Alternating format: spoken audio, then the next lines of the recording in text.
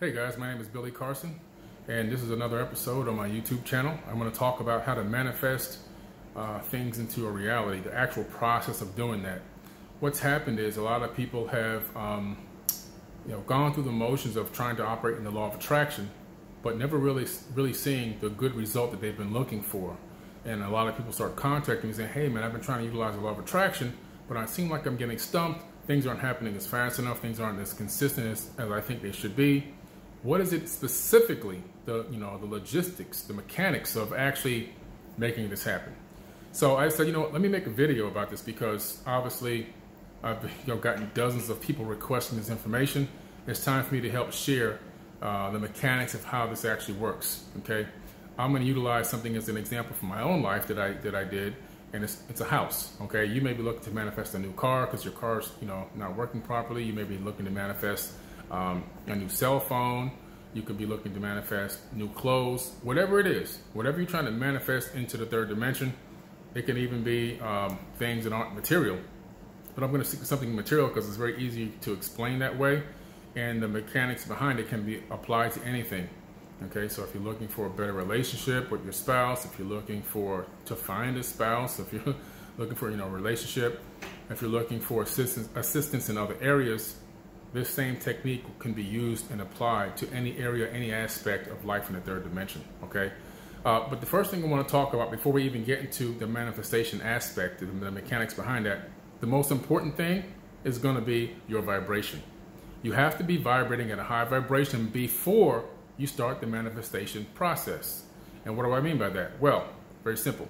Okay, you cannot come into um, a manifestation process uh, where you're trying to create your your reality tunnel in a favorable way for something that you're looking to acquire. If you're angry, frustrated, um, you know, in anguish, in sorrow, depressed, frustrated, all these things are going to destroy your manifestation capabilities and also are going to prevent you from creating your reality tunnel to go down the path that you'd like.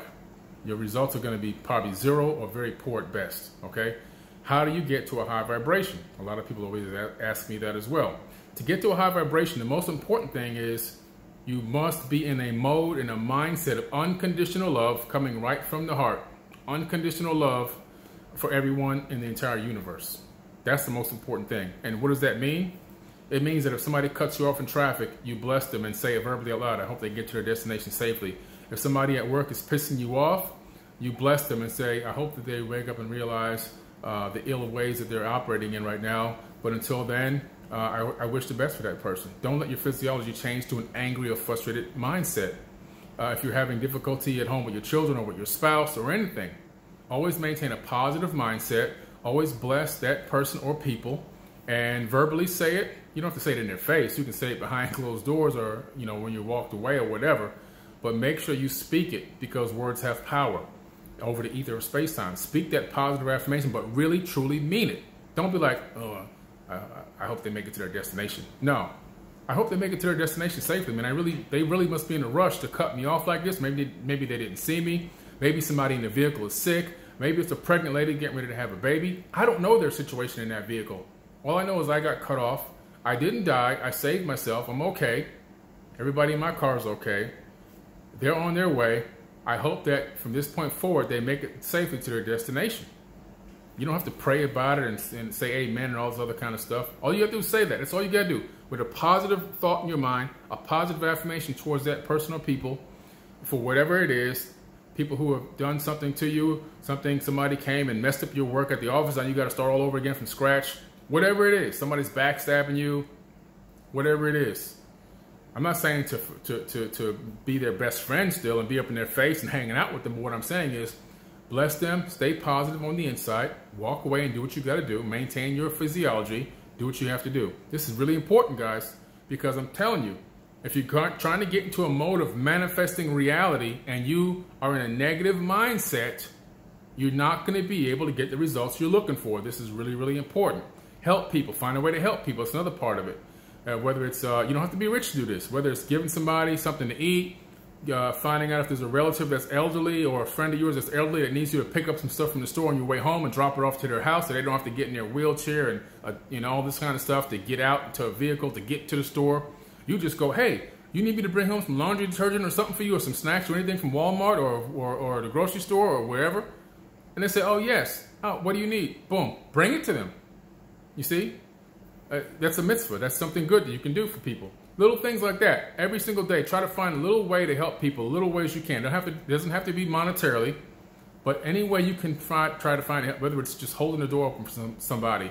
If you see an, an, elderly person coming out of a, a, a restaurant, helping them to their car, you know, whatever it is, whatever it is, just find a way to be all in the positive mindset, always looking to assist and be of service to others. That's going to put you in a high frequency mindset automatically. Automatically. Okay? Automatically. The next thing is I try to eat clean, eat eat healthy, positive vibe food. Try not to eat negative vibe food. Try, try to stay away from food that's been tortured because that tortured energy is now going to enter into your body. Remember, when you're eating that food, there's DNA in the food, and that DNA carries memories. Like I've said before in many vi videos here, and, uh, and it's been scientifically proven that DNA stores memories. It's not even a mystery. It's peer-reviewed science. It's real science, guys. Microsoft has created the first DNA hard drive. One gram of DNA can store 700 terabytes of data, and now they've maximized that to 433 petabytes of data on one gram. A human body can store 13.5 billion years of information in digital bits of information that can be uploaded and downloaded from computers. Okay, yeah. So guys, really important. Try to stay away from tortured meat. Tortured meat, tortured food uh, can lead to adding un- inadvertently negativity into your body. And you won't even know it's there. You won't even know it's happening and why things are not going right. It's because of that negative vibe. So if you love to eat meat or like to eat meat, if you're trying to manifest something, you may want to take a break from that for a little while during the manifestation process. I'm just just a recommendation if you were looking for the maximum results. It's not about being a vegan and all this other stuff. It's about trying to achieve the goal. And I'm telling you the steps you need to take. Whether you like them or not, that's up to you, okay? The next step that you're gonna need to take uh, is uh, you've got the high frequency vibration, you're not eating any tortured uh, food, so now you've got, you're maintaining that positive energy in your body that you've already been created through positive karma, and nothing is there to tear it down. Any, no outside forces can come in and destroy the energy flow that you're building up now to help towards this manifestation.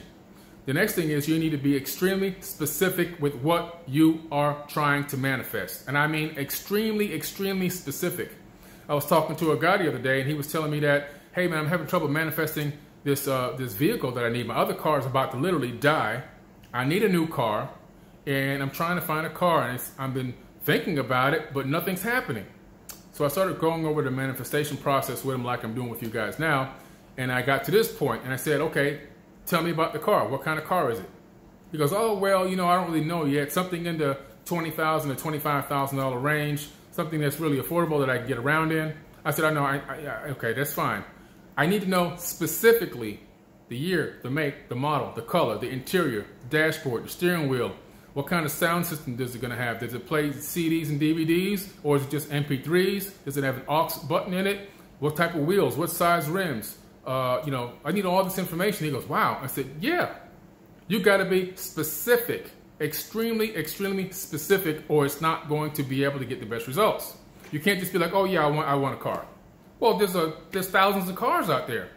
The universe needs you to be extremely specific. Your energy needs to be on point and focused to a bottleneck to where it's going boom right to the exact thing you're looking for. Okay, you got to be specific.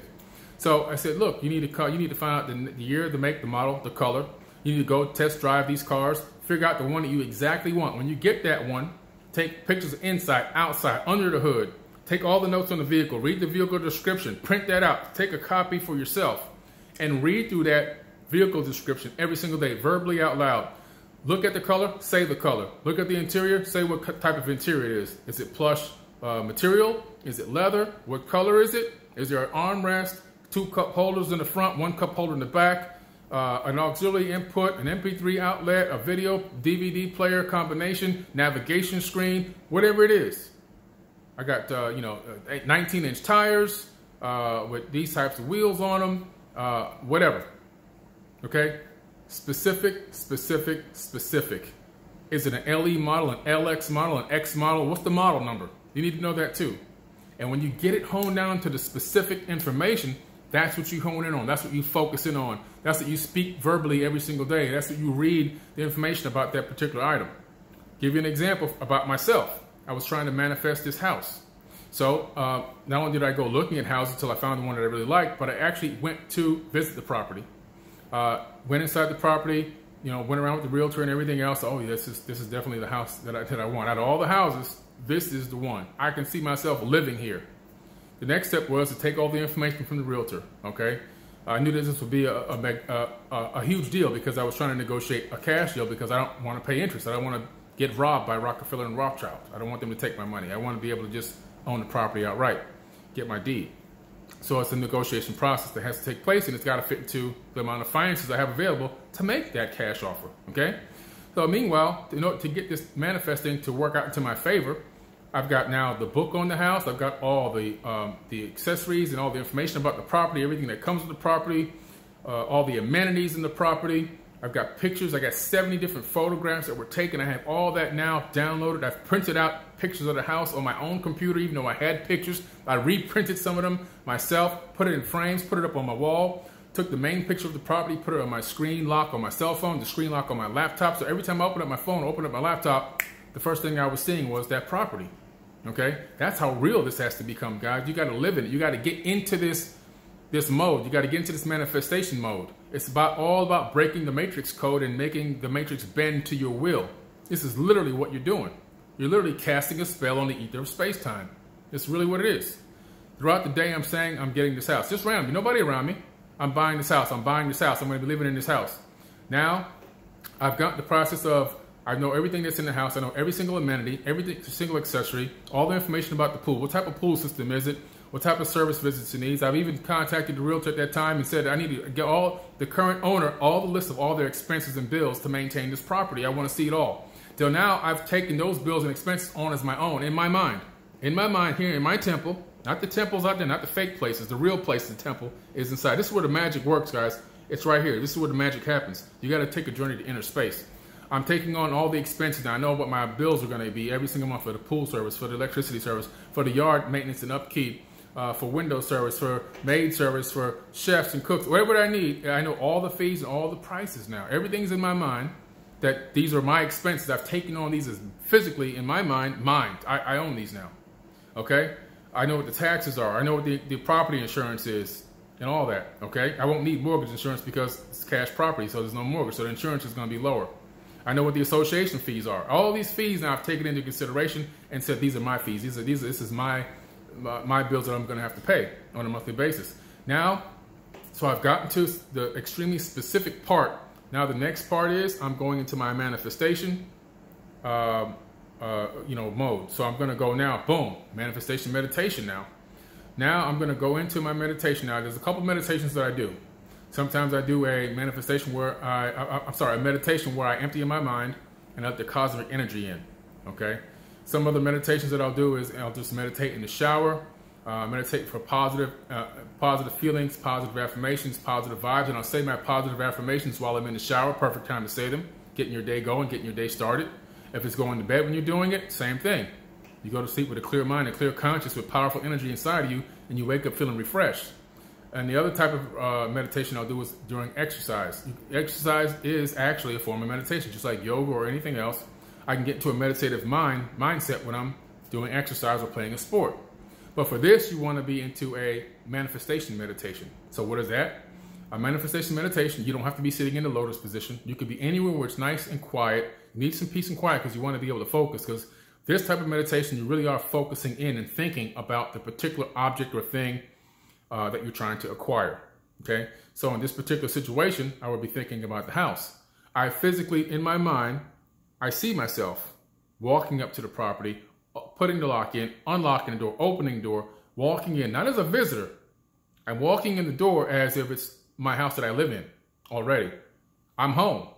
When I go in that house in that meditation, I'm actually home. I drop my keys on the rack. You know, I put my laptop case in my office. I walk around, say hi to everybody. I sit down on the couch for a few minutes. I get a, you know, I get, a drink of uh, some uh, iced tea, my, one of my favorite drinks. Sip on that, put it down, maybe pick up a magazine, read through a couple of pages, get up, walk out, look out the backyard, you know, check out the view.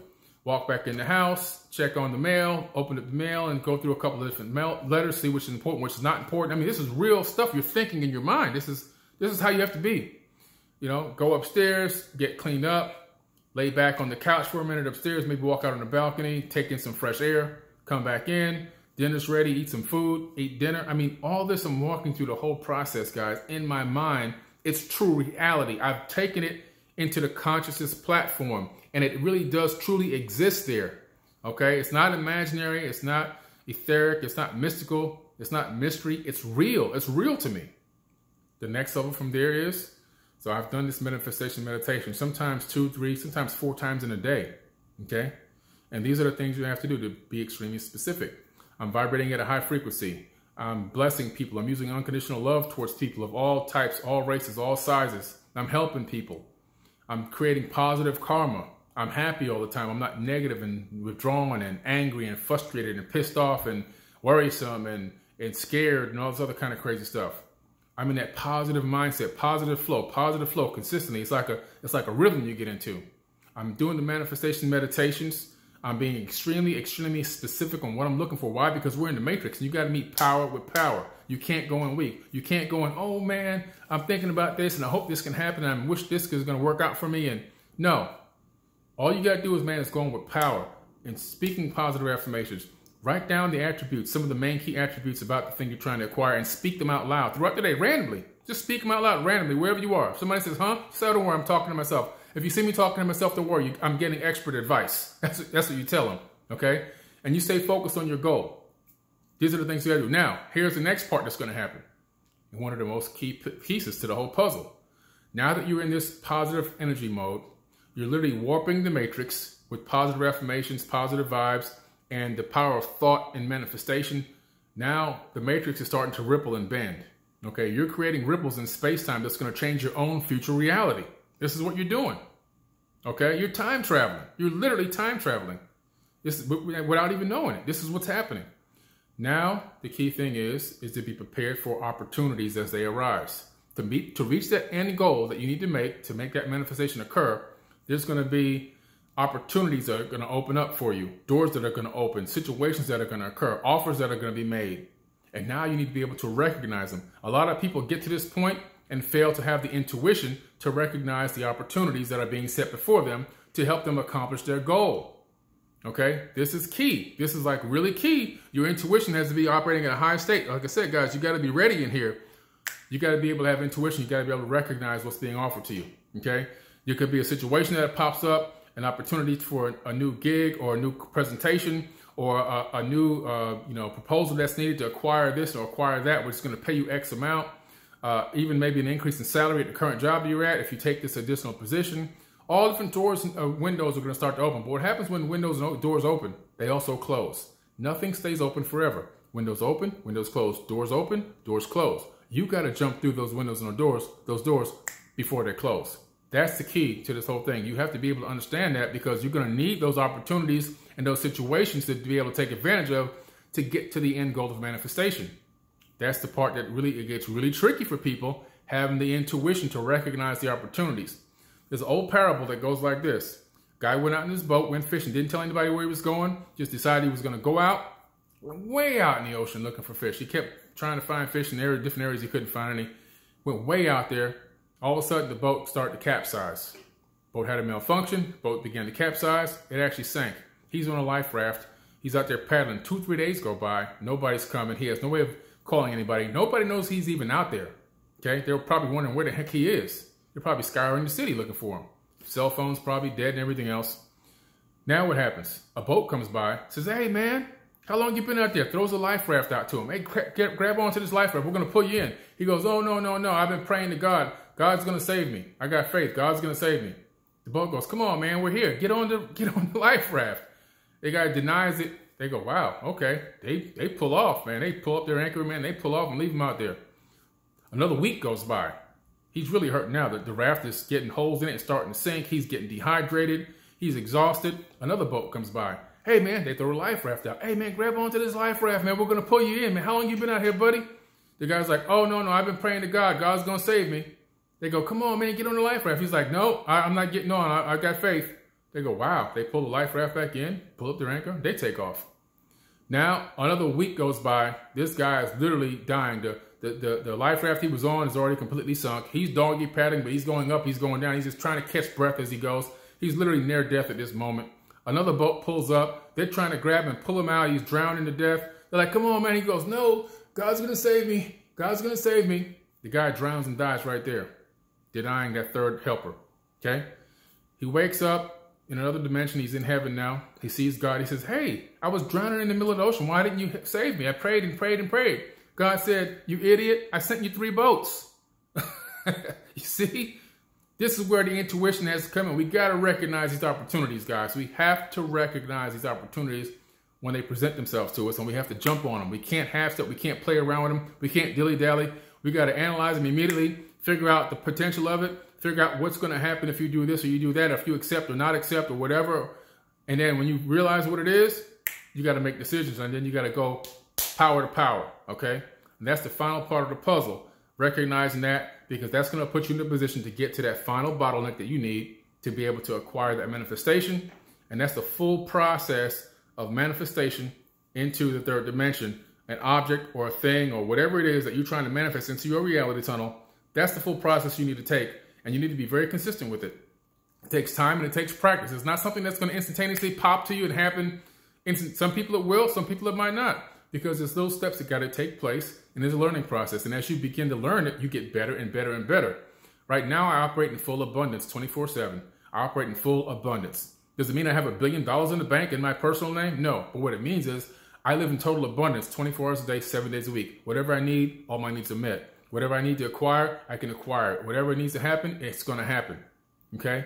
And this is what you need to be able to do to utilize the law of attraction in a proper way utilize manifestation, meditation, utilize positive frequency, positive energies, vibrate at a high vibration so you can sync with universal consciousness and then be able to have the intuition to recognize the opportunities as they take place, as they, as they presented themselves to you from the universal consciousness directly into your life so that you can manifest the reality that you're looking for. All right.